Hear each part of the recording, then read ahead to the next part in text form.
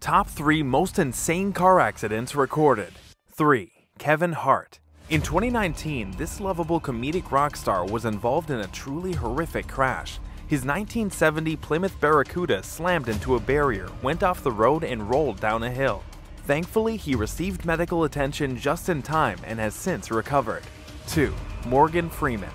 In 2008, Freeman's 1997 Nissan Maxima veered off the road and flipped several times. Despite the timely medical intervention, the Invictus actor still wears compression gloves to this day as his left hand is permanently paralyzed. Number 1. Paul Walker Much like his Fast and Furious persona, Walker was drawn to high-octane cars. Traveling at 100 miles per hour, his 2005 Porsche Carrera GT spun out of control, hit several structures, and then burst into flames.